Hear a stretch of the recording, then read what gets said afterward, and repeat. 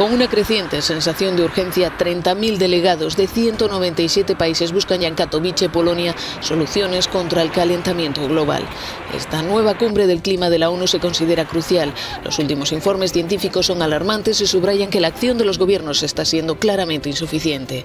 El principal objetivo en Katowice será encontrar fórmulas para implementar el Acuerdo de París de 2015 y tratar de limitar a 1,5 o 2 grados como máximo el aumento de la temperatura media del planeta. El secretario general de la ONU cuenta con todos nosotros para que decidamos, porque no existe un plan B, advierte el presidente de la COP24. Este encuentro vuelve a ser un choque entre dos mundos, el más pobre y más vulnerable ante las catástrofes climáticas y por otro el norte rico y contaminante que no acaba de cumplir sus promesas. Polonia, escenario de la cumbre, encarna esa paradoja, un país de la Unión Europea cuya producción energética depende aún al 80% del carbón. Algunas sociedades dicen que hay que elegir entre clima o empleos. No es así. Por ejemplo, hay datos sólidos que indican que las energías renovables van a crear millones de nuevos empleos.